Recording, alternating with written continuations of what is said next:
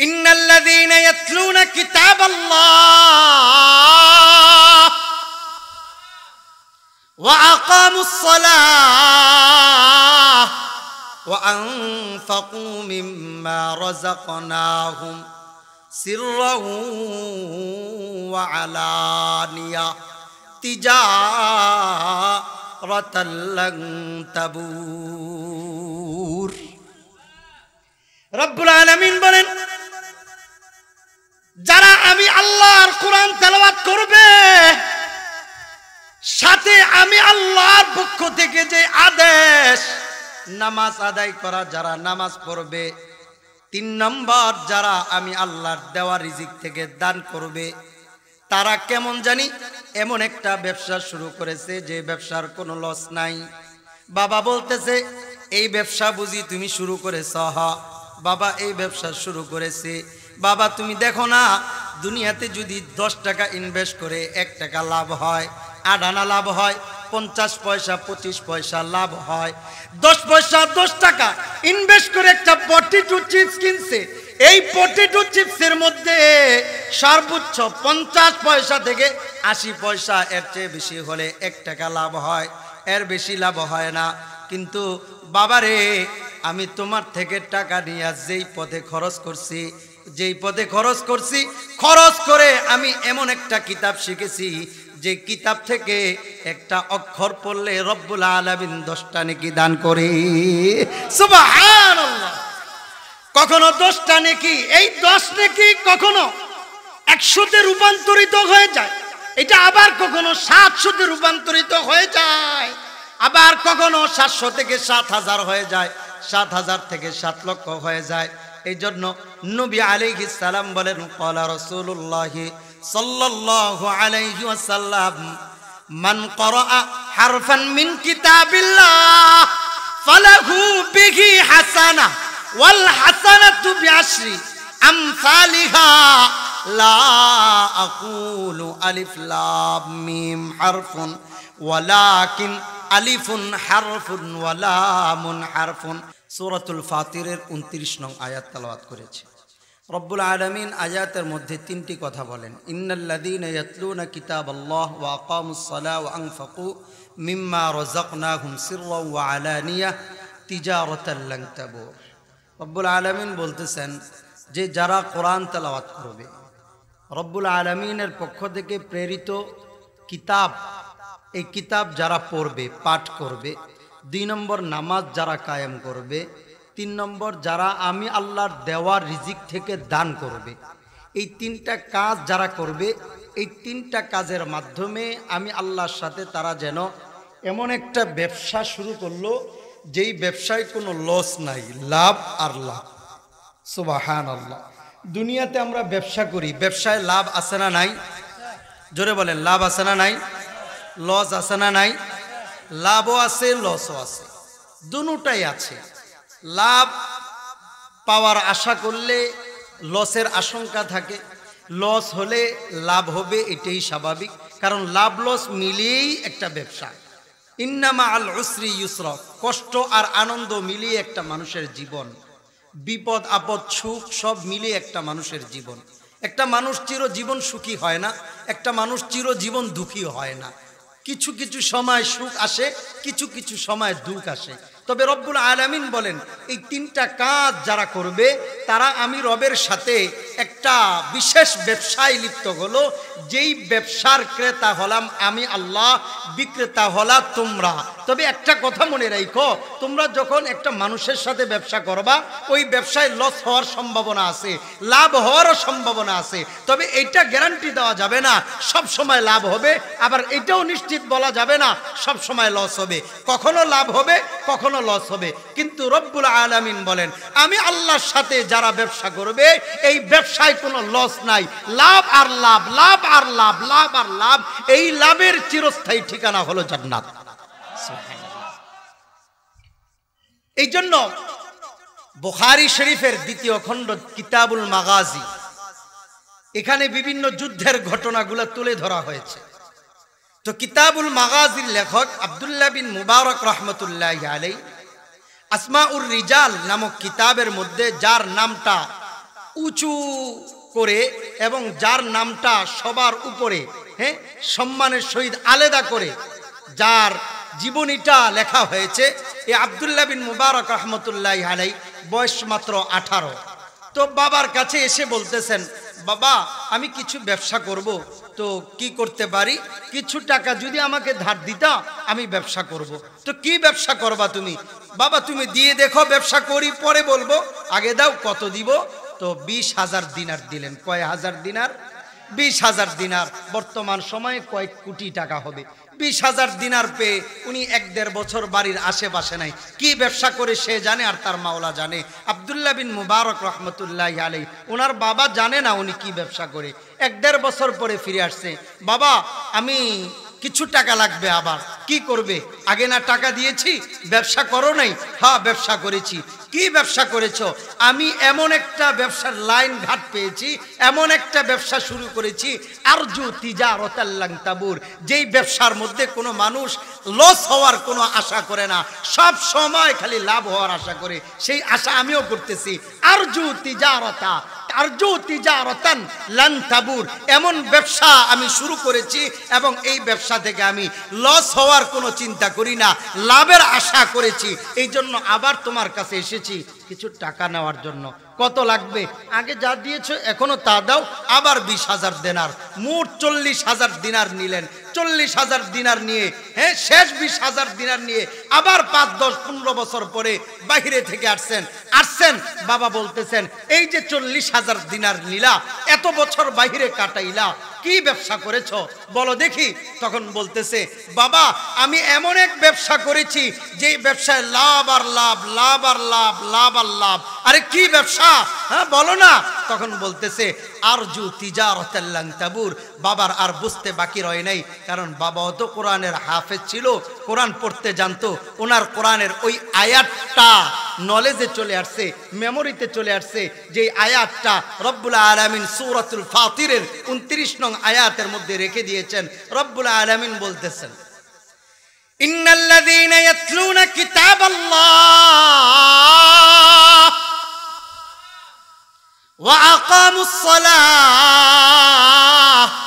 وأنفقوا مما رزقناهم سرا وعلانية تجارة لن تبور রব্বুল আলমিন বলেন যারা আমি আল্লাহর কোরআন তেলাওয়াত করবে সাথে আমি আল্লাহর পক্ষ থেকে যে আদেশ নামাজ আদায় করা যারা নামাজ পড়বে তিন নম্বর যারা আমি আল্লাহর দেওয়া রিজিক থেকে দান করবে তারা কেমন জানি এমন একটা ব্যবসা শুরু করেছে যে ব্যবসার কোনো লস নাই বাবা বলতেছে এই ব্যবসা বুঝি তুমি শুরু করেছ হ বাবা এই ব্যবসা শুরু করেছে বাবা তুমি দেখো না দুনিয়াতে যদি দশ টাকা ইনভেস্ট করে এক টাকা লাভ হয় আডানা লাভ হয় পঞ্চাশ পয়সা পঁচিশ পয়সা লাভ হয় দশ পয়সা দশ টাকা ইনভেস্ট করে একটা পটেটো চিপস কিনছে এই পটেটো চিপসের মধ্যে সর্বোচ্চ পঞ্চাশ পয়সা থেকে আশি পয়সা এর চেয়ে বেশি হলে এক টাকা লাভ হয় এর বেশি লাভ হয় না কিন্তু বাবারে আমি তোমার থেকে টাকা নিয়ে যেই পথে খরচ করছি যেই পথে খরচ করছি খরচ করে আমি এমন একটা কিতাব শিখেছি যে কিতাব থেকে একটা অক্ষর পড়লে রব্বুল আলমিন দশটা নেকি দান করে কখনো দশটা নেকি এই দশ নেকি কখনো একশোতে রূপান্তরিত হয়ে যায় এটা আবার কখনো সাতশোতে রূপান্তরিত হয়ে যায় আবার কখনো সাতশো থেকে সাত হাজার হয়ে যায় সাত হাজার থেকে সাত লক্ষ হয়ে যায় এই জন্য নবী আলী বলেন কলা রসুল্লাহি সাল্লাল্লাহু আলাইহি ওয়াসাল্লাম মান করা হারফান মিন কিতাবিল্লাহ ফালাহু বিহি হাসানা ওয়াল হাসানাতু বিআশরি আমসালিহা লা আকুলু আলিফ লাম মিম হারফুন ওয়ালাকিন আলিফুন হারফুন ওয়ালামুন হারফুন নবী আলাইহিস সালাম বলেন তুমি যখন কোরআনের একটা আয়াত পড়লা যেমনটা ধরুন আলিফলাম মিম যখন বান্দা তুমি পড়লা এই পড়ার দ্বারা রব্বুল আলমিন তোমাকে একটা নেকি দিবে না বরং আলিফে দশ নেকি ইল্লামে দশ নেকি মিমে দশ নেকি আলিফলাম মিম পড়লা রব্বুল আলমিন তোমার আমল নামায় তিরিশটা নেকি দান করে দিলেন সুবাহান আবদুল্লাহ মুবারক রহমতুল্লাহ আলাই বলে ও বাবা আমি এমন ব্যবসা শুরু করেছি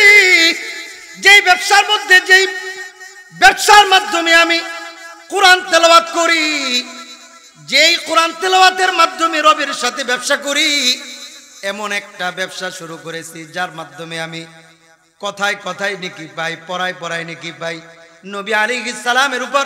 দুরুদ পড়লে আমি হাদিসের মধ্যে পড়েছি নবী আলিহিস সালাম বলে আমি নবীর উপর দুরুদ পড়লে আল্লাহ তালা তার উপর দশটা রহমত নাজিল করেন দশটা নেকিন আল্লাহ তালা তাকে দান করেন সাথে সাথে রব্বুল আলমিন তার দশটা গুণা মাফ করে দশটা মর্যাদা বুলন্দ করে দেন সুবাহান আল্লাহ যেই ব্যবসায় কোনো লস নাই লাভ আর লাভ লাভ আর লাভ রব্বুল আলমিন বলেন এই ব্যবসা সবাই করতে পারে না এই ব্যবসা সবাই করতে পারে না এই জন্য বিষ্ণু পাড়ার চার নং পৃষ্ঠার মধ্যে সুরাতুল কাসাসের মধ্যে রব্বুল আলামিন বলেন আমি আল্লাহ শুধুমাত্র কেবলমাত্র আমি আল্লাহর দুর্বল প্রিয় বান্দাদের দ্বারা আমি আল্লাহর কোরআনের খেদমতটা নিয়ে থাকি ওয়ানুরিদু আন্নামুন্না আলাল্লাযীনা ইসতুযিফু ফিল আরদ আইম্মাতাও ওয়া নাজআলাহুমুল ওয়ারিসিন আমি আল্লাহ দুর্বলদেরকে ধরে ধরে আমি আল্লাহ কোরআনের শিক্ষা দেই এই জন্য দেখবেন মাদ্রাসার যত ছাত্র আছে বেশিরভাগ ছাত্রই দুর্বল ফ্যামিলি থেকে আসে কথা ঠিক না বেঠিক ওই ধনী ফ্যামিলির ছেলে পেলে খুব কম থাকে দুর্বল ফ্যামিলির ছেলে পেলে এগুলাই থাকে কারণ হলো রব্বুল আলমিনের কাছে ধনীদের থেকে দুর্বলের দাম অনেক বেশি আর যত জামানায় যত নবী পাঠাইছে আল্লাহ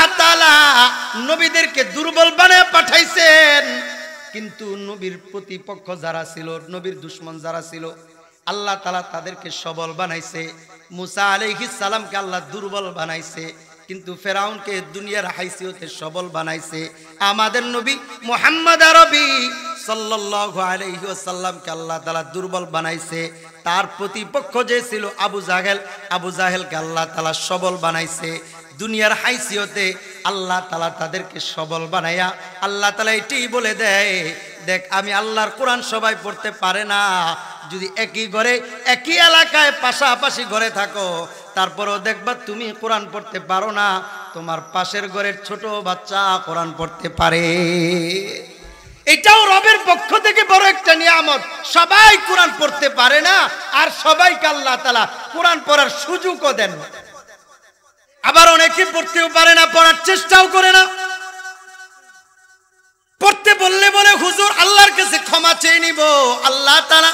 মাফ করে দিবেন আল্লাহ তালা মাফ করে দিবেন আল্লাহ মাফ করে দিবেন এখানে একটা পয়েন্ট আছে কথাটা মনোযোগ সহকারে শোনেন একটা কবিরা গুণা করলেন আল্লাহর কাছে ক্ষমা চাইলেন আল্লাহ গুণা করছি আর গুণা করব না মাফ করে দেন আপনি মিথ্যা কথা বলেছেন আল্লাহর কাছে বলেছেন আল্লাহ মিথ্যা কথা বলেছি ভুল হয়ে গেছে মাফ করে দেন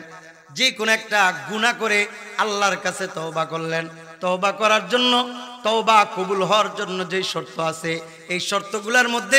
এক নম্বর শর্ত হলো যেই গুণাখের জন্য আপনি তহবা করতেছেন এই গুণাটা এক নম্বরে ছাড়তে হবে দুই নম্বরে এই গুণাখের মধ্যে লিপ্ত না থাকতে হবে তিন নম্বরে ভবিষ্যতে এই গুণাটা না করার ইচ্ছা করতে হবে চার নম্বর এই গুনাহের সাথে বান্দার কোনো হক যদি থাকে এই হকটা আপনার আদায় করতে হবে এই চারটা শর্ত যদি পাওয়া যায় তাহলে আল্লাহ তালা আপনার গুণা মাফ করে দিবে রব্বুল আলমিন আমাকে আপনাকে দুনিয়ার মধ্যে পাঠাইয়া রব্বুল আলমিন আমাকে আপনাকে একটা জবান দিছে একটা সুন্দর জবান দিছে জবানটাকে আল্লাহ তালা পাক করে রেখেছে কি জন্য যেন রবের কালামটা আমি আপনি পড়তে পারি কিন্তু দুঃখের বিষয় হলো রবের কালাম পড়তে পারি না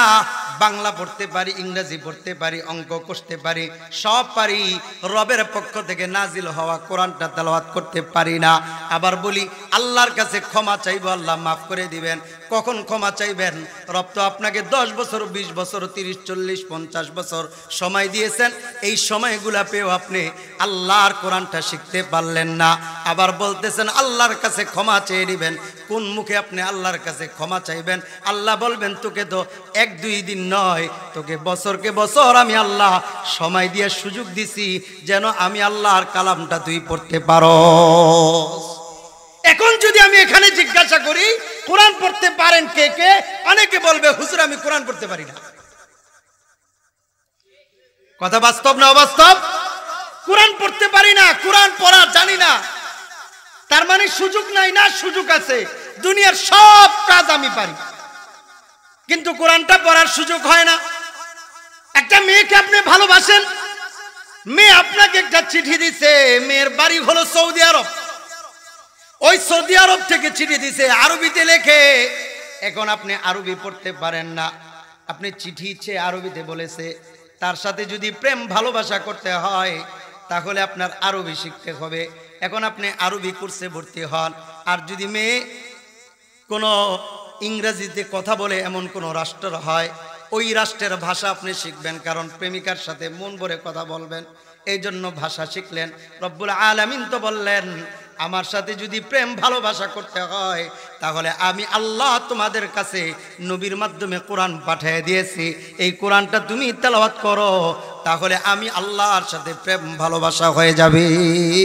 সুবাহ আল্লাহ হ্যাঁ মুসা আলাইহি সালাম আল্লাহর কাছে বলেছেন আল্লাহ আমি তিরিশ দিন বা চল্লিশ দিন তোর পাহাড়ে আইসে আপনার সাথে কথা বলছি আমার পরে কি কোনো উম্মত আপনার সাথে এত পরিমাণ কথা বলবে রব্বুল আলামিন কি বলেছেন যে তুমি কতক্ষণ কথা বলেছ নির্দিষ্ট কিছু দিন নির্দিষ্ট কিছু সময় কিন্তু আমি আল্লাহ শেষ জামানায় এমন একটা জাতি পাঠাবো এমন কিছু দল পাঠাবো এমন কিছু উম্মত পাঠাবো যে উম্মত ইচ্ছা করলে নির্দিষ্ট দিন নয় নির্দিষ্ট সময় নয় একবারে রাত দিন চব্বিশ ঘন্টা আমি আল্লাহর সাথে কথা বলার সুযোগ রেখে দিয়েছি এই জন্য যারা সলাতুল এসা আদায় করেছেন এসার নামাজে দাঁড়াইয়া যখন আপনি বলেছেন আলহামদুলিল্লাহ রব্বিল যখন আপনি শুরু করেছেন রব্বুল আলামিন কুদরতি জবান দিয়া বলে হামিদানি আবদি বান্দা আমার প্রশংসা করতেছে রব বলতেছেন যদি রবের সাথে কথা বলতে হয় তাহলে কোরআন তালাওয়াত করতে হবে কোরআন তালাওয়াতের মাধ্যমে রবের সাথে কথা বলা যায় আহারে আমরা কোরআনটা যেটাকে একবারে পিছনে ফেলে দিয়েছি প্রতি বছর বিভিন্ন মাদ্রাসার মাহফিলে কোরআনের ফাজাইল নিয়ে আলোচনা করি কিন্তু অনেক যুবকরা কোরআন পড়তে পারে না যুবকদের বাবারা কোরআন পড়তে পারে না যুবকদের মারা কোরআন পড়তে পারে না না অনেক যুবতীরা কোরআন পড়তে পারে না অথচ এই কোরআন আমাদের কাছে এমনি এমনি আসে নাই বরং আমাদের আদি পিতা আদম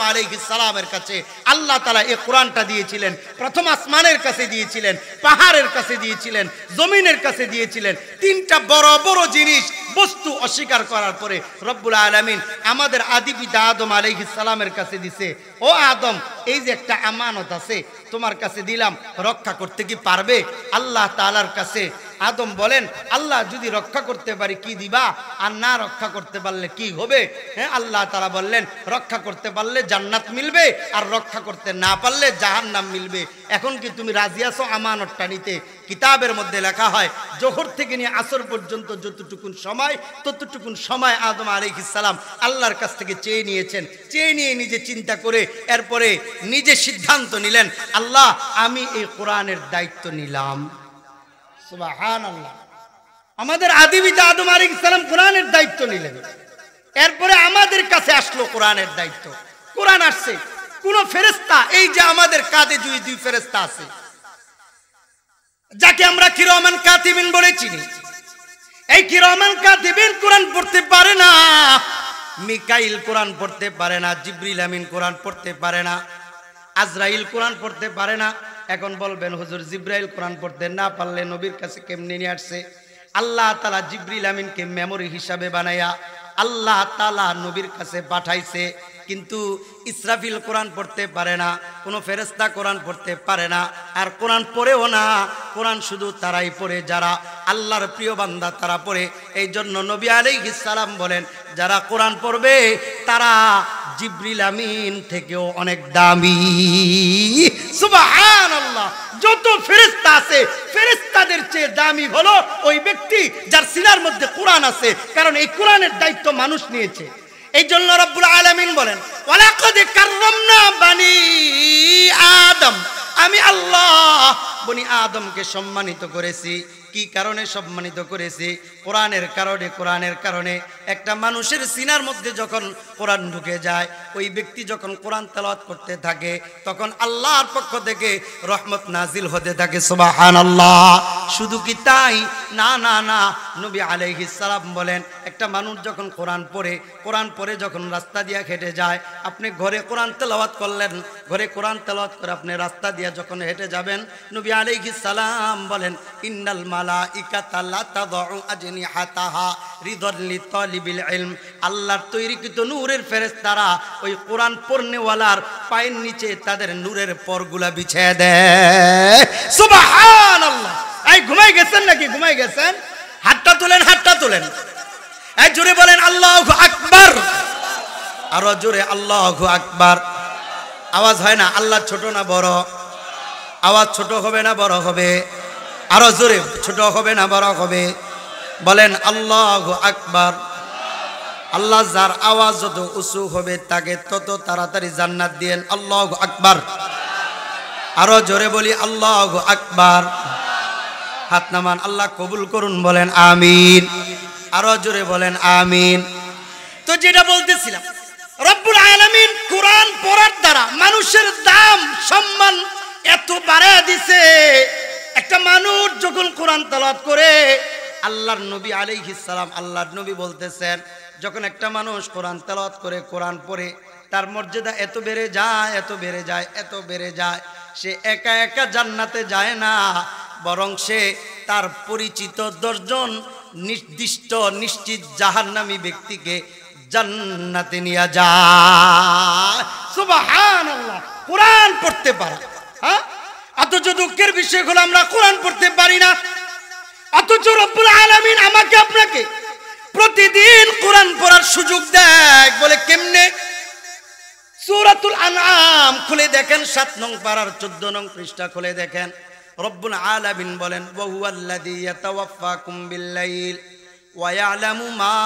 জারাহতুম বিন্নাহার সুম্মা ইয়াবআতুকুম ফীহি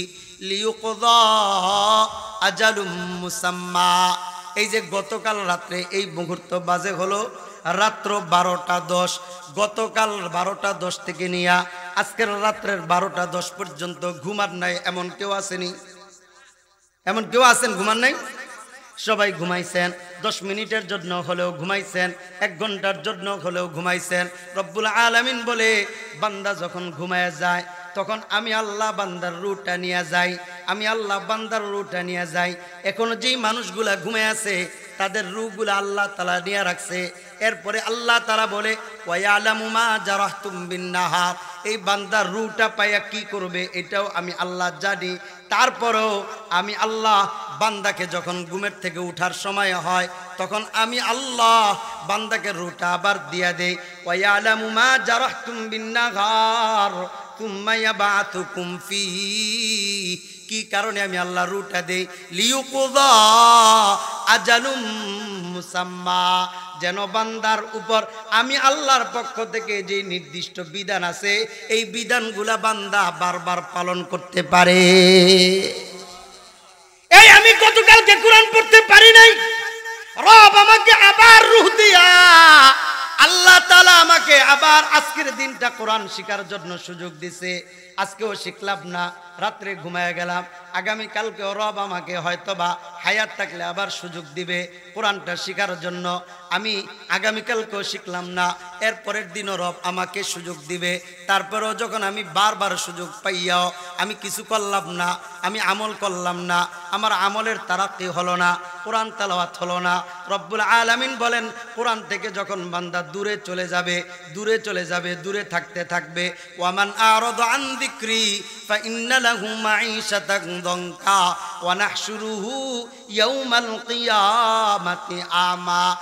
আল্লাহ ওই ব্যক্তিদেরকে যারা কোরআন থেকে দূরে থাকছে কোরআন পড়তে পারে না কোরআন অনুযায়ী চলে না হাসরের ময়দানে আমি আল্লাহ তাদেরকে অন্ধ করে হাসরের ময়দানে উঠাবো না ওজুবিল্লা আরে আমি যদি জীবনে একবারও কোরআনের মাহফিলে না বসি আল্লাহ তারা আমাকে জিজ্ঞাসা করবেন না এই কেন কোরআনের মাহফিলে বসুস নাই এটা জিজ্ঞাসা করবেন না বরং আল্লাহ তালা আমার আপনার ইন্তেকালের পরে রব জিজ্ঞাসা করবে কোরআন পড়তে পারসনি কোরআন পড়তে পারসনি এটা রব জিজ্ঞাসা করবে সবই তো পারলাম কিন্তু কোরআনটা পড়তে পারলাম না দুঃখের বিষয় হলো আমাদের প্রত্যেকটা সাবজেক্টের জন্য আলাদা আলাদা টিচার আছে ইংরাজির জন্য আলাদা টিচার বাংলার জন্য আলাদা টিচার অঙ্কের জন্য আলাদা টিচার বিভিন্ন সাবজেক্টের জন্য আলাদা আলাদা টিচার প্রত্যেকটা টিচারের বেতনও ভালো আছে সময়ও ভালো আছে কিন্তু কোরআন পড়ার জন্য যে টিচার রাখা হয়েছে বেতনও কম এমন একটা সময় দিছে যে সময়টা অবহেলিত একটা সময় আসরের পর একটা সময় দিছে আবার মাঝে মাঝে টিচারকে ফোন দেওয়া বলে আজকে কোরআন পড়তে পারবে না আজকে সময় নাই নাই কারণ কি বাংলার টিচার আসছে ওই স্কুল থেকে টিচার আসছে ওই বিষয়গুলো পড়তে হবে সামনে পরীক্ষা এই জন্য দেখা যায় একটা বাচ্চা তিন চার বছর ধরে বাড়িতে প্রাইভেট পড়ে তারপরেও দেখা যায় ওই কায়দা পড়তেছে আমপারা পড়তেছে কোরআন পড়তে পারে না জিজ্ঞাসা করলে হুজুর পড়তেছে তো পারে না কি করব। পারে না কি করব এটা নয় বরং আপনার অন্যগুলা না পারলেও ছাড় দিতে পারতেন কিন্তু কোরআন না পারলে এটা ছাড় দেওয়ার কোনো সুযোগ ছিল না তারপর আপনি ছাড় দেন আমরা ছাড় দেই কারণ এটাকে কোনো দাম দেই না অথচ এটাকে ছাড় দেয়া আমি আপনি আমার আপনার সন্তানকে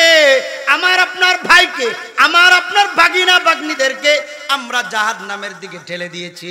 কেউ যদি বাংলা না পারে আল্লাহ জিজ্ঞাসা করবেন না অঙ্ক না পারলে আল্লাহ জিজ্ঞাসা করবেন না ইংরেজি না পারলে আল্লাহ জিজ্ঞাসা করবেন না কোরআন পড়তে না পারলে আল্লাহ জিজ্ঞাসা করবেন কিনা আরে বলেন জিজ্ঞাসা করবেন কিনা আ কোরআন পড়তে না পারলে আল্লাহ জিজ্ঞাসা করবেন এই জন্য নবী আলী সালাম বলেন আল কোরআন আউ আলাইকা কোরআন আমার পক্ষে থাকবে অথবা আমার কোরআন বিপক্ষে চলে যাবে কোরআন যদি পক্ষে থাকে এই কোরআন আমাকে আপনাকে জান্নাত পর্যন্ত পৌঁছাই দিবে আরে হাদিসে তো এমনটাও আসছে যে কেউ যখন কোরআনের সাথে সম্পর্ক রাখে কোরআনের সাথে সম্পর্ক রাখে তখন সে যখন কবরে যাবে এই কোরআন তার পাশে থাকবে হাসরে যাবে কোরআন তার পাশে থাকবে এই কোরআন তাকে জান্নাতে না পৌঁছানো পর্যন্ত কোরআন তার পিছু ছাড়বে না সুবাহান এমন কোন বিদ্যা আছে যে বিদ্যা আপনার কবরের সাথী হবে হাসরের সাথী হবে জান্নাতে পৌঁছাই দিবে দুনিয়াতে এমন কোন বিদ্যা নাই কোরআন ছাড়া এই জন্য কোরআন যদি পড়তে না পারি কোরআন যদি শিখতে না পারি খোদার কসম বাপ ভাই আমার যারা আছে বোন আমার যারা আছে মা আমার যারা আছে সকলের কাছে একটা কথা মনে রাখতে হবে কোরআন যদি আপনি ছেড়ে দেন কোরআনের প্রতি যদি অবহেলা করেন কোরআন যদি পড়তে না পারেন কোরআন না পড়তে পাই পাইরা কোরআন না পাইরা যদি কবরে যান খোদার কসম করে বলি রব্বুল আলমিনের কাছে পার পাবেন না পার পাবেন না যে কোনো গুনাহের জন্য তবা করলেন আপনি গুনা মাফ হয়ে গেল এ মিথ্যা কথা বলছেন তবা করছেন মিথ্যা কথা মাফ হয়ে গেছে কোন জিনা করছেন আল্লাহর কাছে তওবা করছেন আল্লাহ মাফ করে দিছেন কারণ নির্দিষ্ট একটা সময় আপনি গুণা করছেন কিন্তু চল্লিশ পঞ্চাশ বছর সময় পাইয়া আপনি কোরআনটা সহি শুদ্ধভাবে পড়তে পারলেন না এটার জন্য আল্লাহর কাছে কোন মুখে তওবা করবেন বলেন দেখি আল্লাহর কাছে ক্ষমা চাইবেন কোন মুখে বলেন এই জন্য রব্বুল আলামিন বলেন আমি নবীকে তোমাদের কাছে পাঠাইছি ওয়ালাকাদ من الله على المؤمنين إذ بعث فيهم মিন من أنفسهم يتلو عليهم বলতেছেন তোমাদের কাছে নবী পাঠায়া তোমাদের উপর অনুগ্রহ করেছে এবং নবীকে আমি দায়িত্ব দিয়েছি যেন তারা কোরআন তেলাওয়াত করে তোমাদেরকে কোরআন শিক্ষা দেয় নবী নাই নবীর ওয়ারিস আলেম ওলামার আছে তারা আমাদেরকে কোরআন শেখানোর দায়িত্ব নিছে এখন তো বিভিন্ন মসজিদগুলাতে বয়স্ক কোরআন শিক্ষার ব্যবস্থা আছে না নাই অনেক মসজিদে আছে মাদ্রাসাগুলাও আছে মনে করতে পারেন আমার দাড়িটা সাদা হয়ে গেছে চুলটা সাদা হয়ে গেছে বয়স বেড়ে গেছে আরে শিক্ষার কোনো বয়স নাই শিক্ষার কোনো বয়স নাই আপনি ছাত্র হয়ে যান আপনি ছাত্র হয়ে যান এখনো সময় আছে ছাত্র হয়ে যান কোরআনের ছাত্র হয়ে যান আপনি শিখতে না পারলেও ছাত্রত্ব বহন করে আপনি যদি মারা যান আশা করা যায় এই কোরআন আপনার পক্ষে সাক্ষী দিয়ে আপনাকে জান্নাতে নিয়ে যাবে সুবাহ এই জন্য কিতাবের মধ্যে আছে অনেকে হাদিস বলে প্রচার করে না কিতাবের মধ্যে আছে যে কোন আলিমান আউ আল্লাহ নবীর হাদিসের একটা অংশ এমন আছে তুমি আলেম হও তোমার ছাত্র হও বাকি একটা কৌল এমন আছে কোন আলিমান আউ আল্লিমান আউ আন আউ মুহিব্বান তুমি আলেম হও অথবা ছাত্র হও অথবা কোরআন শুনো শ্রবণ করো কোরআন শ্রবণ করো আলে আমাদেরকে ভালোবাসো হ্যাঁ বলে কোন খামিসা পাঁচ নম্বরে তুমি যেও না হ্যাঁ কোরআন শ্রবণ করো গান বাজনা নয় চলতেছি গান বাজাইয়া চলতেছি হ্যাঁ কানের মধ্যে হেডফোন ইয়ারফোন লাগাইয়া এরপরে গান শুনতেছি কে কোরআন তেলাওয়া শুনি কোরআন শুনি শুনলেও নাকি বললেও নাকি নবী আলহ সালাম বলেন সৌতানিমাল উনান দুইটি আওয়াজ এমন আছে যে আওয়াজ আল্লাহর কাছে অভিশপ্ত আওয়াজ এক নম্বর আওয়াজ হলো মিজমারুন ইন্দা নিয়ামা যেই নিয়ামত আনন্দের সময় যে বান্দা গান বাজনায় লিপ্ত থাকে এটা হলো আল্লাহর পক্ষ থেকে অভিশপ্ত একটা আওয়াজ গান বাজনা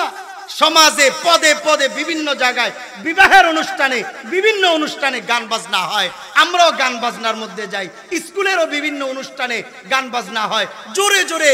আওয়াজ করে গান চালিয়ে দেয় আমরাও শুনতে থাকি নবী ইসালাম বলেন তখন আল্লাহর পক্ষ থেকে অভিশাপ নামতে থাকে আল্লাহর পক্ষ থেকে অভিশাপ নামতে থাকে রহমতের ফেরেস্তারা দূরে চলে যায় না ওজবিল্লা অথচ আমাদের প্রত্যেকটা ঘরে গান বাজনা ঠিকই চলে যুবক গান বাজনা ঠিকই শুনে হ্যাঁ নাটক সিনেমা ঠিকই দেখে কোরআনটা পড়তে পারে না না অভিভাবকদের কোনো দায়িত্ব আছে না নিজের কোনো দায়িত্ব আছে কারো কোনো এই ব্যাপারে দায়িত্ব নাই দিনের দিন আমরা যে অবনতির দিকে যাচ্ছি হ্যাঁ অবনতির দিকে যাচ্ছি এই খেয়াল আমাদের নাই দুনিয়া নিয়ে আমাদের টেনশন দুনিয়া নিয়ে আমাদের চিন্তা কিন্তু কোরআন নিয়ে আমাদের চিন্তা নাই মেরে ভাই দুইটা হাতে ধরি দুইটা পায়ে ধরি আপনাদের কাছে অনুরোধ করি আমি যদি কোরআন পড়তে নাও পারি হ্যাঁ হ্যাঁ শিখার চেষ্টা করি সন্তানদেরকে কোরআন শিখাই কারণ এই কোরআন আমার আপনার পরকালের নাজাতের জরিয়া হবে পরকালের নাজাতের জরিয়া হবে কোরআনকে অবহেলা করে ছেড়ে দেন জীবনের মধ্যে সংকীর্ণতা চলে আসবে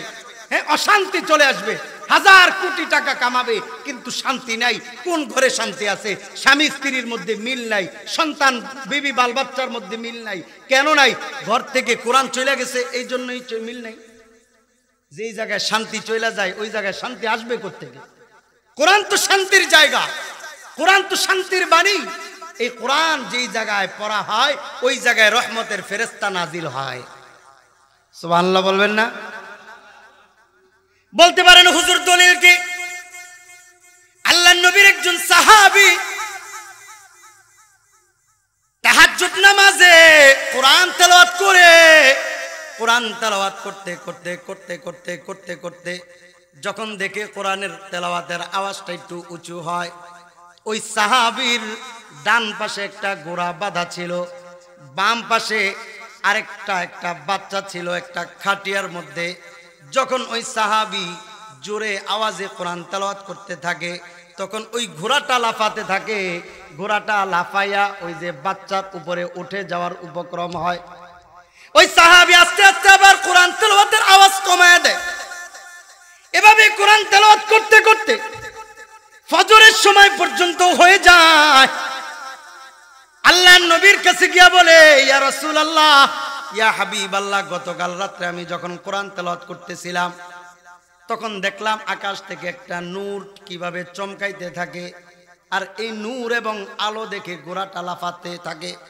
ইয়া রসুল আল্লাহ ইয়া হাবিব আল্লাহ আসল রহস্যটা কি একটু বলবেন নবী ইসালাম বলেন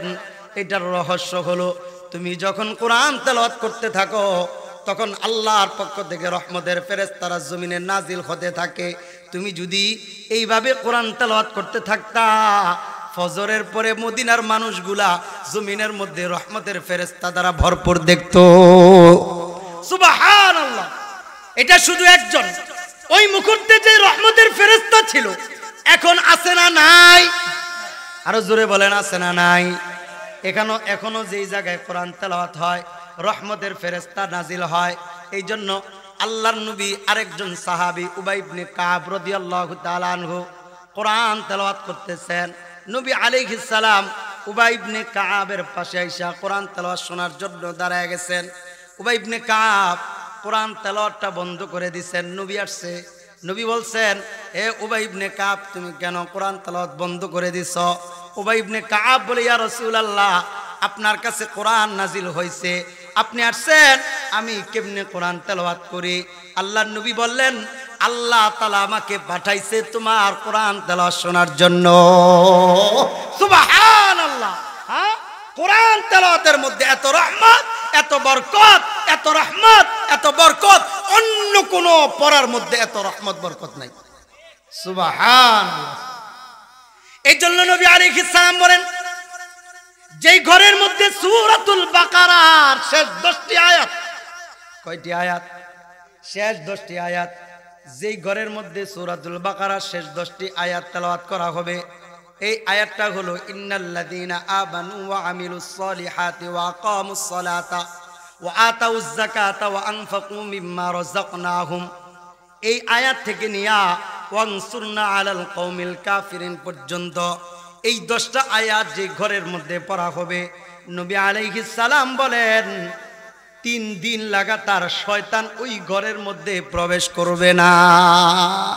সুবাহান আল্লাহ যেই ঘরে শয়তান প্রবেশ করবে না এই ঘরের মধ্যে পরের পরস্পরের মধ্যে মিল মোহাব্বত থাকবে যখন আমি আপনি কোরআন থেকে দূরে চলে যাব রব্বুল আলমিন ভাই ভাইয়ের মধ্যে দ্বন্দ্ব লাগাই দিবে হ্যাঁ মুরব্বীদের মধ্যে দ্বন্দ্ব লাগাই দিবে পরি প্রতিবেশীদের মধ্যে দ্বন্দ্ব লাগাই দিবে এলাকার এলাকার মানুষের মধ্যে দ্বন্দ্ব লাগাই দিবে কি কারণে কারণ আমরা কোরআন ছেড়ে দিছি যখন আমি আপনি কোরআন পড়ব কোরআন ধরব রব্বুল আলমিনের পক্ষ থেকে আস্তে আস্তে রহমত নাজিল হবে আমাদের মধ্যে শান্তি আসবে শুধু কি তাই না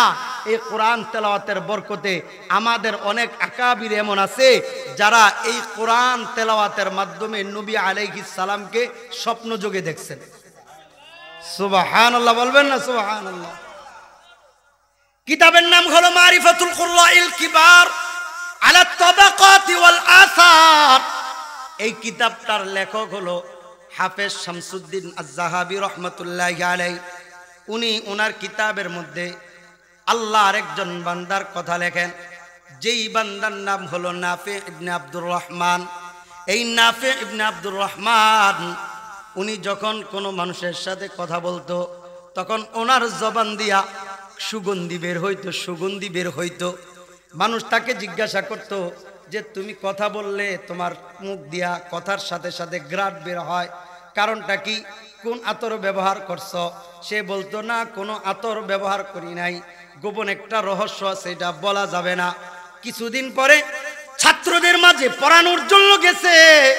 পড়াচ্ছে ছাত্ররা বলল হুজুর আপনি কোন খুশবু ব্যবহার করে আমাদেরকে পড়ানোর জন্য ক্লাসরুমে আসছেন কি আতর ব্যবহার করে আপনি আসছেন হুজুর বলতেছেন আমি কোনো আতর ব্যবহার করি নাই তাহলে এত গ্রাণ থেকে আসে নাফি ইবনে আব্দুর রহমান বলে আমি একদিন কোরআন তেলাওয়াত করতে করতে ঘুমাই গেছিলাম ঘুমের ঘরে আমি স্বপ্ন দেখি নবী আলাইহিস আমার সামনে আইসা কোরআন তেলাওয়াত করতেছে আরো জোরে কি বলা যায় না সুবাহান আল্লাহ নবী আলী সালাম আমার সামনে আইসা কোরআন তেলাওয়াত করতেছে আমি এই কোরআন তেলাওয়াত নবী আলাইহি সালামের জবান থেকে বের হওয়া কোরআন তেলাওয়াতের আওয়াজ আমি শুনতেছিলাম আর দেখতেছিলাম স্বপ্ন যোগে নবী আলাইহি সালাম যখন কোরআন তেলাওয়াত করতেছে তখন নবীর জবান থেকে লালা বের হয়েছে এই লালাটা বের হয়ে আমি না ফের জবানে ঢুকে গেছে মুখের মধ্যে ঢুকে গেছে এই ঢুকার পরে আমি ঘুম থেকে উঠার পর থেকে নিয়ে আজ পর্যন্ত আমি কোনো আতর ব্যবহার করি না বরং ওই যে নবীর লালা মুবারক আমার মুখের মধ্যে গেছে এই লালার বরকতে আমার পুরা শরীরটা সুগন্ধিযুক্ত হয়ে গেছে কারণ নবী আলিক ইসালামের পুরা দেহটাই সুগন্ধিযুক্ত আম্মাজান আয়সা রাদিয়াল্লাহু তাআলা আল্লাহ নবী যখন বাহির থেকে পরিশ্রম করে আসতেন নবী আলাইহিস সালামের শরীর থেকে যখন ঘাম বেয়ে বেয়ে পড়তো উম্মাহাতুল মুমিনিনরা একটা পেয়ালা সামনে নিতেন পেয়ালা সামনে নিয়া নবী আলাইহিস সালামের শরীর থেকে ঘামগুলো গোলাইভাবে জড়ায় নিতেন নিয়া পেয়ালা থেকে একটা শিশির মধ্যে বিভিন্ন শিশির মধ্যে রাখতেন রাইখা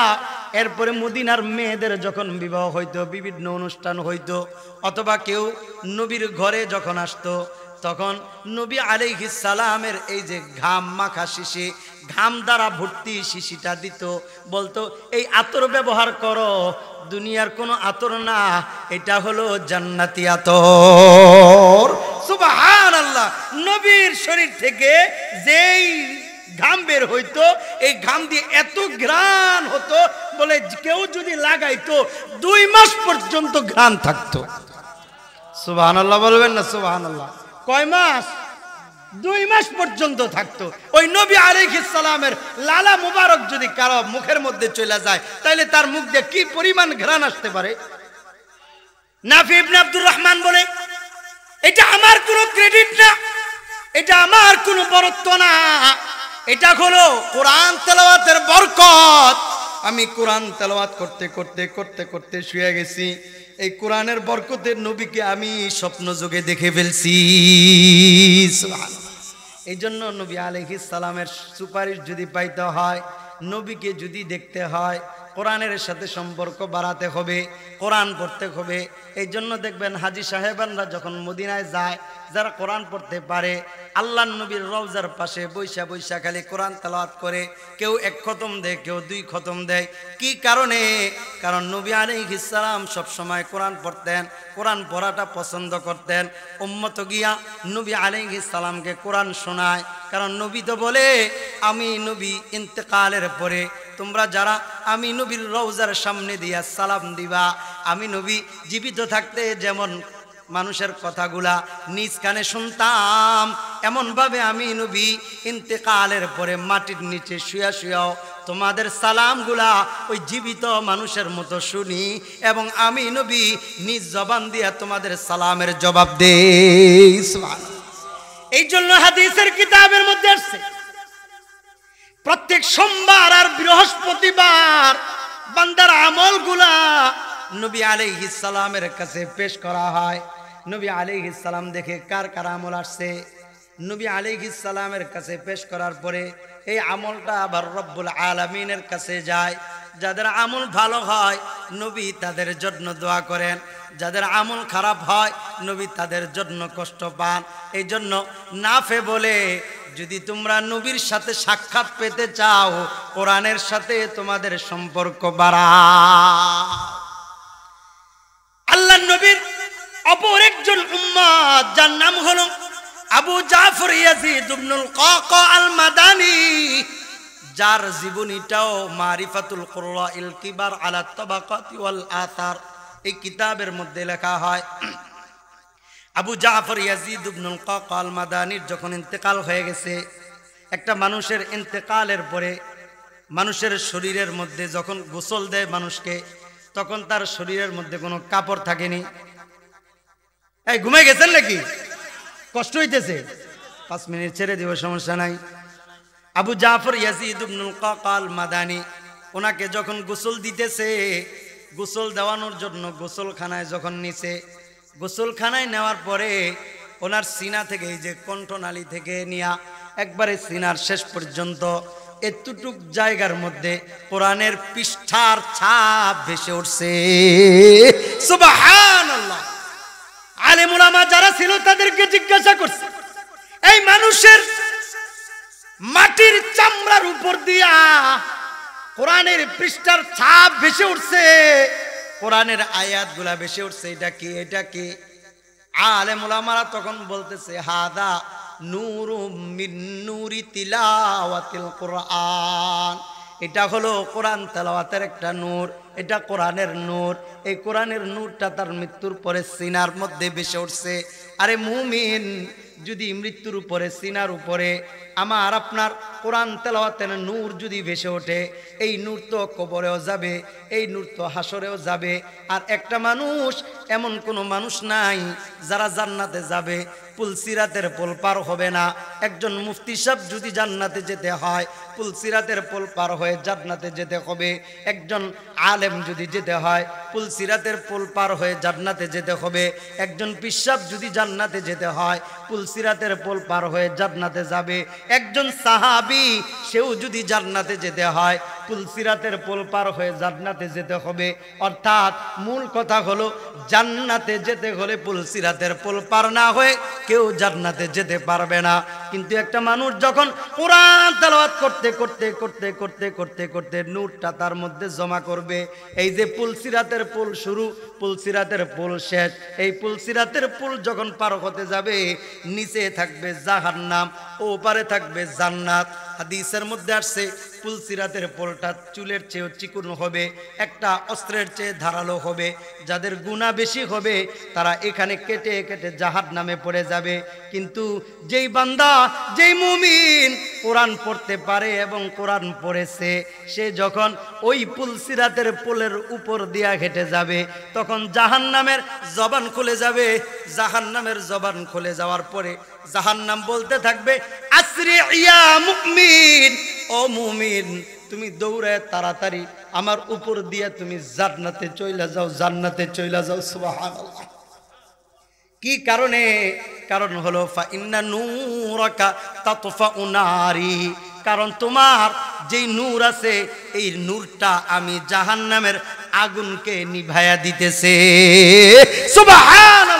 কোরআনের নূর যখন আমার আপনার সিনার মধ্যে থাকবে এই সিনা কোনোদিন জাহান নামের আগুনে জ্বলবে না এই জন্য কিতাবের মধ্যে আসছে যখন কোরআন ওয়ালা মারা যাবে কোন মুমিন কোরআন পড়তে পড়তে যখন তার সিনার মধ্যে নূর চমকাবে ওই কোরআন পড়নেওয়ালা কোনো ব্যক্তি যখন মারা যাবে তখন আল্লাহ তালা ওই জমিনের কাছে ওহি পাঠায় কিতাবের মধ্যে লেখা হয় ইদামা তাহামিলুল কোরআন আল্লাহ জমিনের মধ্যে আল্লাহ তালা ওহি পাঠায় ওহি পাঠাইয়া আল্লাহ তালা তখন বলে দেয় ও জমিন আল্লাহ তাকুলি লাহমা ও কালামি আমার কালাম আমার কালামটা আমার কালাম তার সিনার মধ্যে আছে ওই জমিন শোন তোর মধ্যে যে এখন ঘুমাবে তাকে বক্ষণ করবি না কারণ তার সিনার মধ্যে আমি আল্লাহর কালাম আছে সুবাহান আল্লাহ জমিন বলে কাইফা আকুলু লাহমা ওয়া কালামু কাফি জাউফি ওগো আল্লাহ আপনার কালাম যার সিনার মধ্যে আছে তাকে কেমনে আমি বক্ষণ করব। তাহলে আমি আপনি যদি কোরআন পড়তে পারি কোরআনটা যদি সিনার মধ্যে রাখতে পারি তাহলে এই কোরআনের নূরের বরকতে কবরের মধ্যেও আমার জন্য যেমন সোয়াল জবটা সহজ হয়ে যাবে পরকালে আমার জন্য জান্নাতের রাস্তাও সহজ হয়ে যাবে কারণ কোরআনের মধ্যে তো সব বরকত নবী আলাইহিস সালাম বলেন যে ঘরের মধ্যে যে ঘরওয়ালা যে ঘরওয়ালি প্রতিদিন ফজরের নামাজের পরে সৌরাত ইয়াসিন তালওয়াত করবে পরের দিন সকাল পর্যন্ত আল্লাহ তালা সমস্ত ধরনের বালা মুসিবত থেকে হেফাজতের দায়িত্ব আল্লাহ তালা নিজ হাতে নিয়ে নিবে সুবাহান আল্লাহ সুবাহান আল্লাহ এই জন্য আল্লাহ নবীর কলিজার টুকরা ফাতেমা রদি আল্লাহ আনহা এশারের নামাজ শেষে তাহাজ্জত নামাজ পড়ার উদ্দেশ্যে দুই রাকাত নামাজের নিয়তে দাঁড়াইছে দাঁড়াইয়া কোরআন তেলাওয়াত করতেছে এক রাকাত পড়ছে দুই রাকাতে যখন দাঁড়াইছে এক রাকাত শেষ হয়ে দুই রাকাতে যখন দাঁড়াইছে দাঁড়ানোর পরে কিছুক্ষণ পরে দেখে মুয়াজ্জিনের কণ্ঠে আজান শোনা যায় ফাতেমা রদি আল্লাহ আর হাত চোখের পানি ছাইরা আল্লাহকে ডাইকা বলে আল্লাহ এত ছোট রাত্র কেন দিলা যে এই রাত্রের মধ্যে আমি দুই রাকাত নামাজ মন ভরে পড়তে পারলাম না এত চমৎকার করে তারা কোরআন তেলবাদ করত কোরআনের প্রতি তাদের এত ভালোবাসা এত মহাব্বত ছিল আর কোরআন যার সিনার মধ্যে থাকবে কোরআন যে বারবার বারবার পড়বে মৃত্যুর সময় আল্লাহ তালা তার জবান দিয়া এমনি কালিমা বের করে দিবে সুবাহান আল্লাহ সুবাহান এই জন্য কোনো মানুষের যখন মৃত্যুর সাকারা শুরু হয়ে যায় নবীর হাদিস প্রমাণ করে তখন তোমরা তাকে কালিমার তালকিন দাও কি কারণে কালিমার তালকিন মানে হলো ওই মৃত ব্যক্তিকে ধাক্কায় বলা এই যে কালিমা পর কালিমা পর এমনি নাকি এমনি না বরং তুমি পাশে বৈশা বলো লা ইল্লাল্লাহ তুমি পড়তে থাকো তোমার কালিমার প্রভাবটা তার কাছে যাবে এবং কালিমার প্রভাবে সে প্রভাব প্রভাবান্বিত হয়ে তার জবান দিয়েও কালিমা বের হয়ে যাবে যখন আমি আপনি কোরআন তেলাওয়াত করব আমার আপনার কোরআন তেলাওয়াতের প্রভাব আমার সন্তানের উপরে পড়বে বাচ্চা পেটে আছে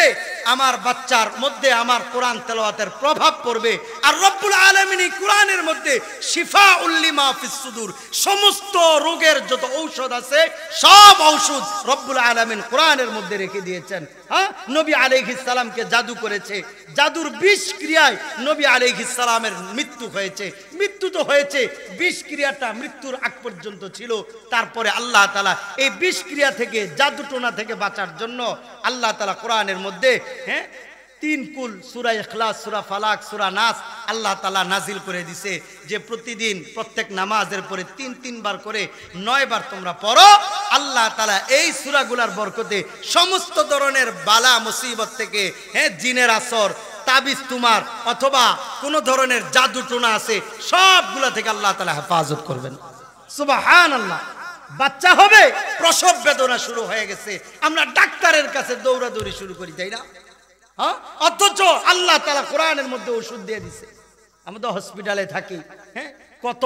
পেশেন্ট আছে হ্যাঁ কত প্রেগনেন্সি মহিলা আছে তাদের যখন ব্যথা শুরু হয় অনেক পুরুষরা দৌড়ে আসে কান্না করতে করতে আসে অনেক বাচ্চারা আসে নিজের মার জন্য পানি নেওয়ার জন্য হুজুর একটু যদি পানি পরে দিতেন হ্যাঁ সন্তানের যদি কোরআন জানা থাকতো বাবার যদি কোরআন জানা থাকতো তাহলে হুজুরের কাছে আর দৌড়াইতে হতো না বিপদের সময় আপনি যদি নিজ থেকে ট্রিটমেন্ট দিতে পারেন তাহলে ডাক্তারের কাছে অনেকক্ষণ দৌড়ানোর কোনো প্রয়োজন নাই কারণ এমনও হতে পারে ডাক্তার কাছে যাইতে যাইতে ডাক্তারের কাছে থেকে আসতে আসতে ওই ব্যক্তির মৃত্যু হয়েও যেতে পারে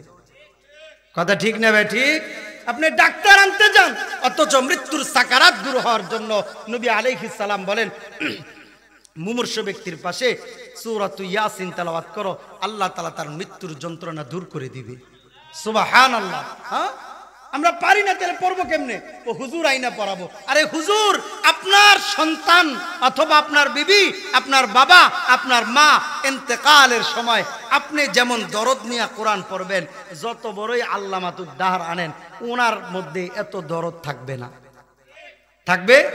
থাকবে না আপনি আপনার মৃত বাবা মার জন্য যে দরদ নিয়ে দোয়া করবেন এই দরদ নিয়ে আপনার মসজিদের ইমাম সাহেব দোয়া করবে না আর এমন দরদ আসবেও না আপনার বাবা মার প্রতি এত দরদ আমার আসবে না আমার বাবা মার প্রতি যেমন দরদ আমার আসবে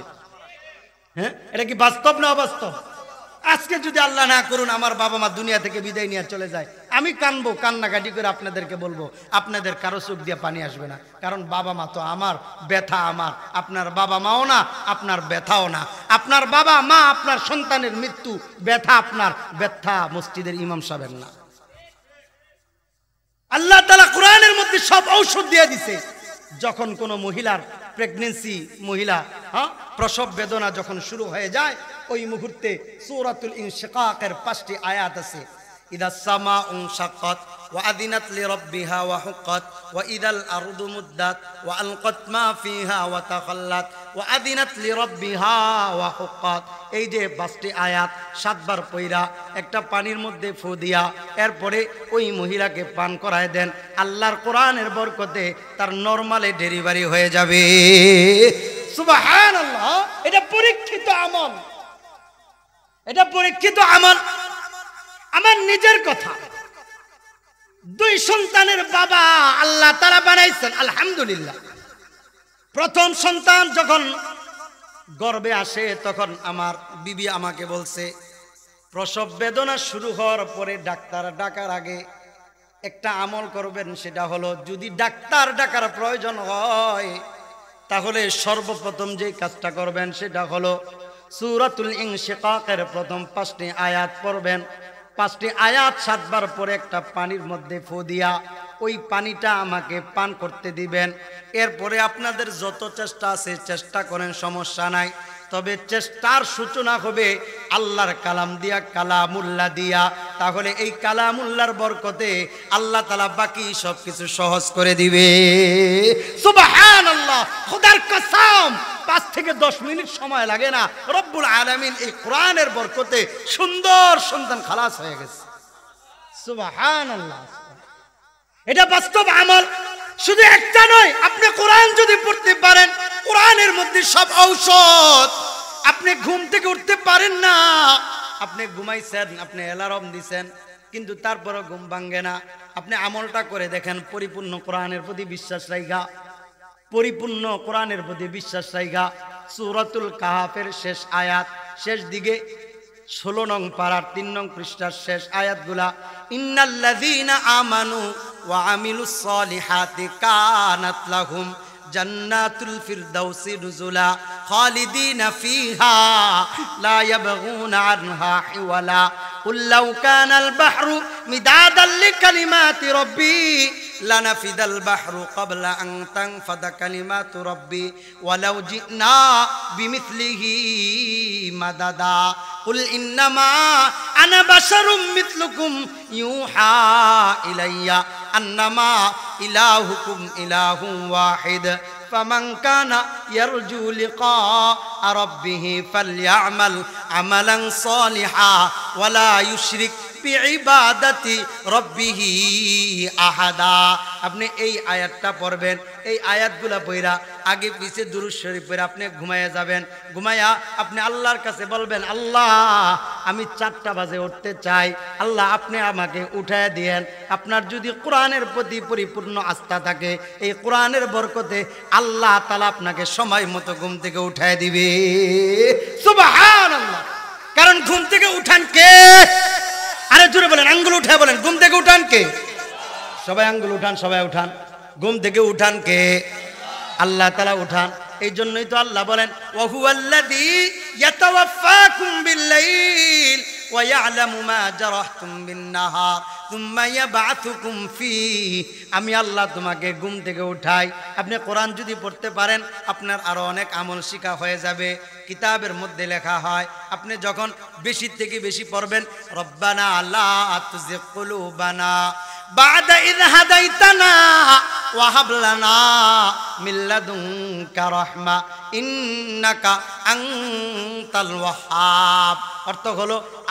আল্লাহ হেদায়তের দৌলত দেওয়ার পরে আমার অন্তরটাকে বক্র বানেন না এই আয়াতটা যে ব্যক্তি বেশি থেকে বেশি পড়বে সব সময় পড়তে থাকবে মৃত্যুর সময় আল্লাহ তালা তার জবান দিয়া কালিমা বের করে দিবে আল্লাহ হেদায়তের উপর অটল থাকতে পারবে এগুলো তো কোরআনের আমালাত যেগুলো আছে হ্যাঁ কোরআনের আমল এগুলো যদি আমি আপনি হ্যাঁ কোরআন পড়তে পারি তাইলেই না পারবো আর না হলে কি পারবো নবী আলিখিস সালাম বলে প্রত্যেক ফরজ নামাজের পরে আল্লাহ ইলাহা ইল্লাহুয়াল হাইয়ুল কাইয়ুম ওয়া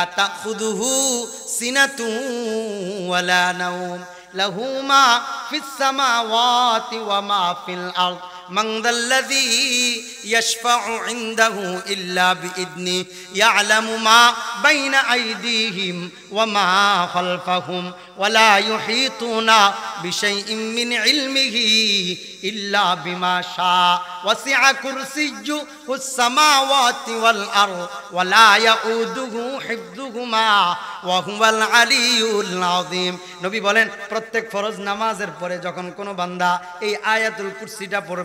করে আল্লাহ তালা তার ব্যাপারে একটা ঘোষণা দিতেছে সেই ঘোষণাটা হলো তার জান্নাতে যাওয়ার জন্য প্রতিবন্ধক হলো তার মৃত্যু এই ব্যক্তি মরতে দেরি হবে জান্নাতে যাইতে দেরি হবে না যদি এই খালি কোরআনের আমুলগুলা এভাবে বলতে থাকি তাও কমপক্ষে এক ঘন্টা বলা যাবে এটা সব রোগের চিকিৎসা রব্বুল আলমিন কোরআনের মধ্যে দিয়ে দিয়েছে এই জন্য কোরআন যদি পড়তে পারি কোরআন যদি শিখতে পারি এই কোরআন আমার আপনার কবরে হবে নূর হাসরে হবে নূর এই কোরআন আমাকে আপনাকে জান্নাতে নিয়ে যাবে তাহলে এখন কি ওয়াদা করা যায় কিনা যে কোরআন শিখবো ইনশাল্লাহ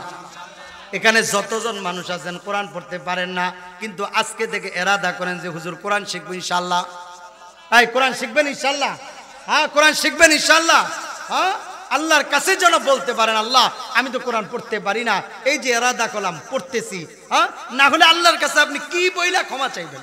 ক্ষমা চাওয়ার একটা কথা লাগে আপনি একটা মেয়ের সাথে জিনা বেবিচারে লিপ্ত হয়ে গেলেন ফোনের মাধ্যমে একটা বেগানা নারীর সাথে কথা বলছেন একটা বেগানা নারীর দিকে আপনি তাকাইছেন জিনার গুণা হয়েছে আল্লাহর কাছে তবা করছেন আল্লাহ আপনার নাইলে মাফ করে দিল কিন্তু আপনি কোরআন পড়তে পারেন না এটার জন্য কেমনে ক্ষমা চাইবেন আপনার খানা চলতেছে ব্যবসা বাণিজ্য চলতেছে দুনিয়া চলতেছে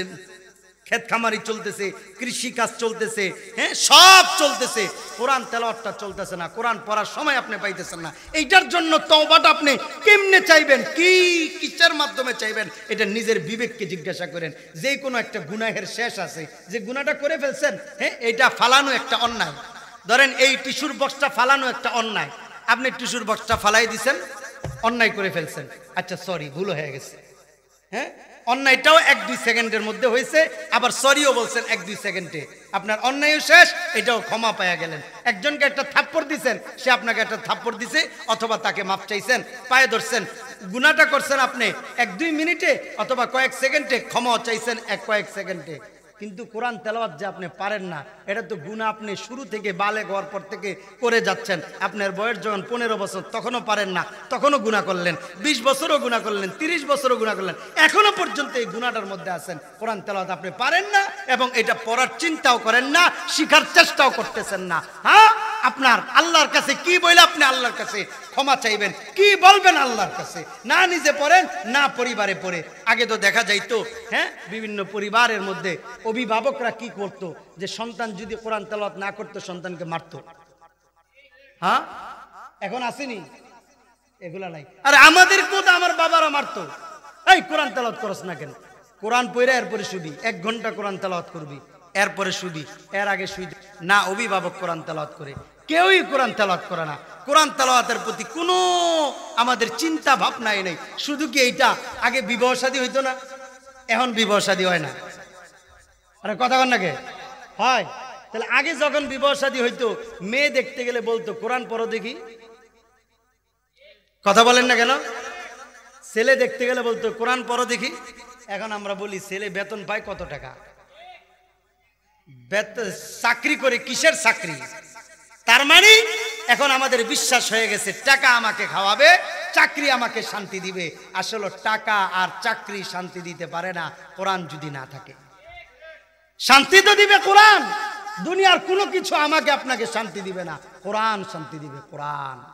আল্লাহ তালা আমাদের সকলকে কোরআনের উপর আমল করবার তৌফিক দান করুন এবং কোরআন নিজে পড়ার এবং শিখার সন্তানদেরকে শিখানোর তৌফিক দান করুন আমির সব শেষে একটা কথা কোরআনের হাফেজ যারা হয় কোরআন যারা পড়ে আপনাদের এই এতিমখানায় যারা হ্যাঁ কোরআন পড়তেছে তারা শুধু একা জান্নাতে যাবে না এক তারা যাবে তাদের পরিচিত একবারে নিকটতম দশজনকে জান্নাতে নিয়ে যাবে সেই দশজনকে এই দশজনের মধ্যে একজন হলো তার বাবা দুই নম্বর হলো তার মা তিন নম্বর হলো তার দাদা চার নম্বর হলো তার দাদি পাঁচ নম্বর হলো তার নানা ছয় নম্বর হলো তার নানি সাত নম্বর হলো তার শ্বশুর আট নম্বর হলো তার শাশুড়ি কারণ শ্বশুর একটা ভালো কোরআন পড়নেওয়ালা ছেলে দেখে বিয়ে দিছে সরকারি চাকরি করে এটা দিকে বিয়ে দেয়নি কথা ঠিক না ঠিক হ্যাঁ কোরআন পড়তে পারে এইটা দেখে বিয়ে দিচ্ছে গতকালকে আমার বরিশাল মাহফিল ছিল তো বরিশালের হ্যাঁ বরিশাল বিশ্ববিদ্যালয়ের অনেকগুলা ছেলে মাহফিলের মধ্যে ছিল হ্যাঁ নথুল্লা বাস স্টেশনের পরেই মাহফিলটা ছিল অনেক ছেলে ছেলেপেলেগুলা ছিল পুরা আপনাদের এখান থেকে বিশাল বড় মজমা ছিল মানে শেষে আসলে মানুষ কম থাকবে এটাই স্বাভাবিক আর আমরা তো এত ফেমাস বড় বক্তা না যে আমগো বয়ান শোনার লেগে মানুষ বৈশা থাকবো আপনারা যারা বইয়ে রয়েছেন এরা আপনারা আমাদের উপর দয়া করছেন বুঝছেন নি ওই যে দেখেন না কি করে আমার উপর দয়া করছেন আপনারা বৈশা রয়েছেন নাকি দয়া করছেন না হ্যাঁ আল্লাহ তালা আমাদের সকলের উপর দয়া করুন বলেন আমিন আল্লাহ আমাদের সকলকে কোরআনের রুসিলায় কবুল করুন বলেন আমিন সব কথার এক কথা কোরআন কোরআন কোরআন তো আমি তখন বলেছিলাম সব শিখলাম কোনো শিক্ষার কথা আল্লাহ তালা জিজ্ঞাসা করবেন না আমাকে আপনাকে কোনো শিক্ষার কথা জিজ্ঞাসা করবেন না আল্লাহ জিজ্ঞাসা করবেন কোরআন পড়ছো কিনা বুঝাইতে পারছি ছেলে বিবি বাল বাচ্চাকে কোরআন শিক্ষা দিছ কিনা আমার সন্তানকে কোরআনের হাফেজ বানাইছো কিনা হাফেজ না বানাইলেও জিজ্ঞাসা করবে না কোরআন পড়তে পারি কিনা আপনি যখন সকালবেলা ঘুম থেকে উঠে একটা আস্তা কাঁচা পেঁয়াজ খাইলেন দুপুরবেলা মোরগ পোলাও পাইলেন তো একবার আচ্ছা মতো মারলেন হ্যাঁ হঠাৎ করে একটা ঢেকুর আসছে ঢেকুর আসার পরে আপনার মুখ থেকে কি মোরগ পোলাওয়ের ঘ্রাণ আসবে না পেঁয়াজের দুর্গন্ধ আসবে পেঁয়াজের দুর্গন্ধ আসবে কারণ সকালবেলায় এটা খাইছেন যাইতে পারি নাই ঠিক তেমনইভাবে একটা বাচ্চাকে যদি আপনি ছোট কাল থেকে কোরআনটা শিক্ষা দেন কোরআনের হাফেজ বানানো দরকার নাই আলেমও বানানো দরকার নাই কোরআন পড়তে পারে তাহলে দেখবেন বড় হলে সে বেইমানদের মতো ঢেকুর দিবে না বেইমানদের কোনো কৃষ্টি কালচার তার মধ্যে প্রকাশ পাবে না কারণ সে তো প্রথম অবস্থায় কোরআন শিখছে এই জন্য এই মাদ্রাসা হোক অন্য মাদ্রাসা হোক আপনার সন্তানদেরকে দিবেন আপনার সন্তানদেরকে পড়াবেন তো বলতেছিলাম যে এই দশজনকে নিয়ে জান্নাতে যাবে সাত নম্বর শ্বশুর আট নম্বর শাশুড়ি বুঝাতে পেরেছি নয় নম্বর হলো ওই পুরুষ অথবা ওই মহিলা যে এতিম ছাত্রদের জন্য খাবারের ব্যবস্থা করছে তাদের একটু ভালো একটা বাসস্থানের ব্যবস্থা করছে ভালো কিছুর ব্যবস্থা করছে যা পায়া তারা কোরআন হাদিস শিখছে বুঝাতে পেরেছি এই ব্যবস্থাগুলা যে করছে পুরুষ করলে ওই পুরুষের স্ত্রী থাকলে তার স্ত্রী স্ত্রী না থাকলে তার বাবা মা হ্যাঁ তার বাবা অথবা কোনো মহিলা করে থাকলে মহিলার স্বামী অথবা স্বামী না থাকলে তার মা এই দশজনকে একটা হাফেজ কোরআন জান্নাতে নিয়ে যাবে সুবাহান আল্লাহ এই জন্য আলেম হই আলেম হওয়ার সুযোগ না থাকলে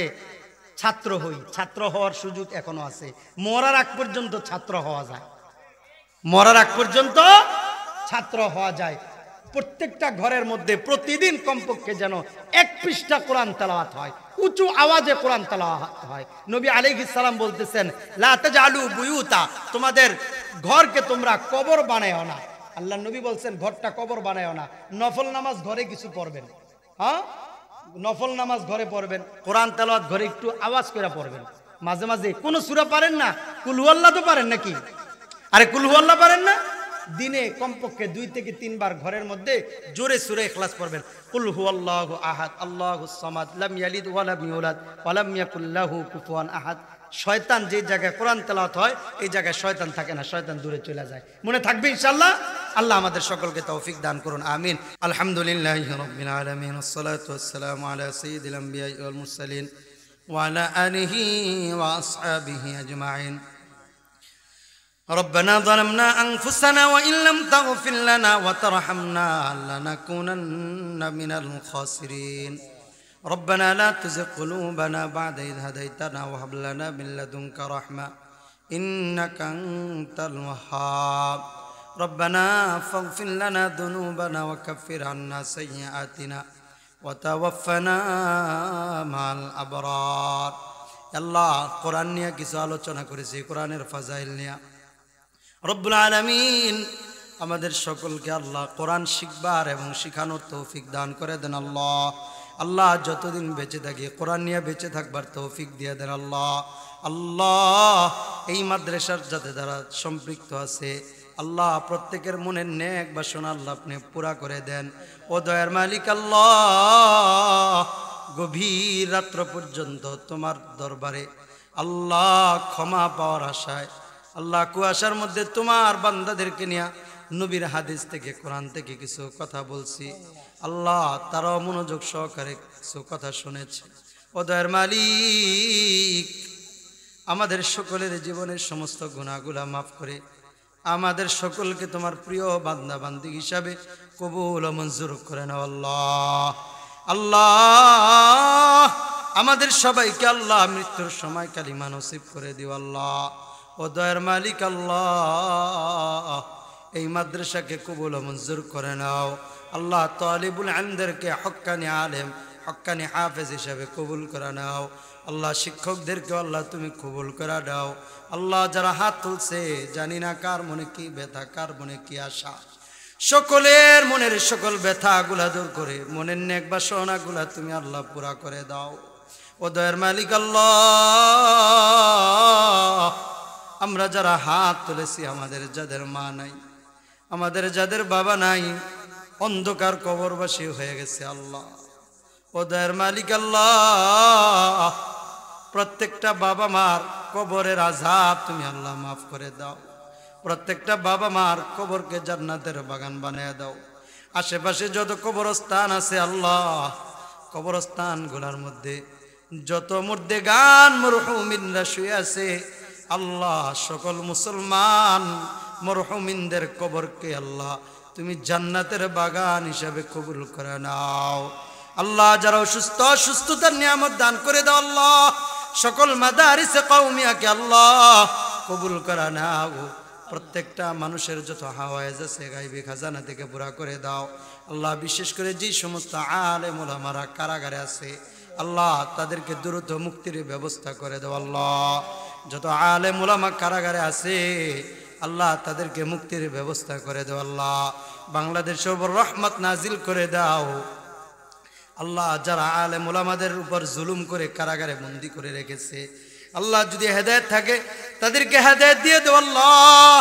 হেদায়ত না থাকলে তাদের বংশ সহ চিরজীবনের জন্য ধ্বংস করে দেওয়াল্লাহ আল্লাহ ওদের মালিক আল্লাহ আহলে মোলামাদেরকে আমাদের কাছে ফিরিয়ে দেব আল্লাহ হাদিসের মসনদে যাদেরকে দেখতাম আল্লাহ তাদেরকে আবার হাদিসের মসনদে ফিরিয়ে দেব আল্লাহ আল্লাহ মামুনুল হক সহ আল্লাহ মাহমুদুল হাসান গুনবি সহ আল্লাহ আমির আমজা সহ আল্লাহ যত বড় বড় আলেম যারা আছে আল্লাহ যত সাধারণ মানুষ অন্যায়ভাবে জালেমের জুলুমের শিকার হইয়া কারাগারে বন্দি আছে আল্লাহ তাদেরকে দ্রুত মুক্তির ব্যবস্থা করে দাও আল্লাহ ওদের মালিক আল্লাহ বাংলাদেশের উপর রহমত নাজিল করে দাও মুসলিম শাসকের ব্যবস্থা করে দাও আল্লাহ ইসলামী হুকুমত কায়েম করার ব্যবস্থা করে দাও ওদের মালিক ফিলিস্তিনের মুসলমান ভাইয়ার মার খাচ্ছে আল্লাহ আল্লাহ জালেমদের হাত থেকে মুসলমান ভাইদেরকে আল্লাহ হেফাজত করে আল্লাহ আল্লাহ বাইতুল মুকাদ্দাসকে আমাদের কাছে ফিরে দেন আল্লাহ ও দয়ের মালিক আমাদেরকে আল্লাহ আমাদের গুনাহের কারণে আমাদের মুসলমান ভাইদেরকে আল্লাহ আর আজাব দিয়েন না আল্লাহ আল্লাহ আর কষ্ট দিয়েন না আল্লাহ আল্লাহ দুনিয়া থেকে যারা বিদায় নিয়ে চলে গেছে আল্লাহ তাদেরকে শাহাদাদের উচ্চ মাকাম দান করে দেন আল্লাহ ওদের মালিক আল্লাহ বিবি বাল বাচ্চা বাবা মা আত্মীয় স্বজন পাড়া প্রতিবেশী আল্লাহ এলাকাবাসী দেশবাসী আল্লাহ যারা অসুস্থ সুস্থতার সাথে খ্যাত দারাজ করেন আল্লাহ আল্লাহ আমাদেরকে সুস্থতার সাথে নেখায়াত দারাজ করেন আল্লাহ ওদের মালিক আল্লাহ কোরআন যেন পড়তে পারি সেই তৌফিক দিয়া দেন আল্লাহ আল্লাহ যেই দিন মৃত্যু দিবেন সেই দিনটা যেন জুমার দিন হয় আল্লাহ যেই মাসে মৃত্যু দিবেন সেই মাসটা যেন রমজান মাস হয় আল্লাহ মদিনাতুল মনোয়ারায় ইমানি হালতে সিজদারত অবস্থায় রিয়াজুল জান্নাতে আল্লাহ মৃত্যু দিয়েন আল্লাহ জান্নাতুল বাকিদে কবরস্থানের ব্যবস্থা করে দেন আল্লাহ আল্লাহ আমাদের সকলকে কোরআনের সাথে মৃত্যু পর্যন্ত সম্পর্ক রাখবার তৌফিক দান করে দেন আল্লাহ আল্লাহ আমাদের প্রত্যেককে আল্লাহ আপনার প্রিয় বান্দা বান্দি হিসাবে কবুল মঞ্জুর করে নেন যারা ঋণগ্রস্ত আছে ঋণ পরিশোধ করবার তৌফিক দান করে দেন হালাল পন্থায় পেরিসানি মুক্ত প্রয়োজন মোতাবেক রিজিকের ব্যবস্থা করে দেন আরাম থেকে বেঁচে থাকবার তৌফিক দিয়ে দেন আল্লাহ বয়ানের মৌসুমে আল্লাহ যত বক্তা ভাইয়েরা আছে আল্লাহ যারা কোরআনের খেদমত করতেছে আল্লাহ প্রত্যেককে রাস্তাঘাটের সমস্ত ধরনের দুর্ঘটনা থেকে আল্লাহ হেফাজত করেন আল্লাহ আমাদের সকলকে আল্লাহ দিনের জন্য কবুল ও মঞ্জুর করে দেন সাল্লাল্লাহু তাআলা আলা খাইরি খালকিহি محمد وعلى آله وأصحابه أجمعين سبحان ربك رب العزة عما يصفون وسلام على المرسلين والحمد لله رب العالمين برحمتك يا أرحم الراحمين السلام عليكم ورحمة الله وبركاته